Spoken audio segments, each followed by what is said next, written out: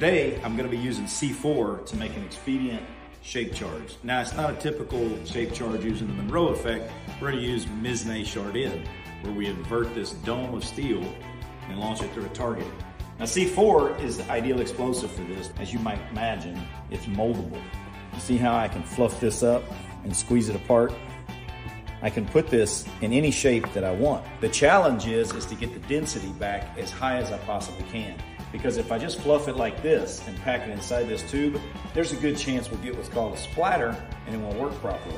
So I'm gonna pack it around this shape device right here and try to get the density as high as possible and see if we can get penetration. And then little by little, I wanna start adding my C4 to it. There's a lot of comments out there about me flying. They say that I won't be able to get through TSA. Well, it's true. If I were to do this and go immediately fly, I'd probably have a problem. But I generally don't work with this stuff right before I fly. And uh, I do a thing called take a bath and wash up my stuff.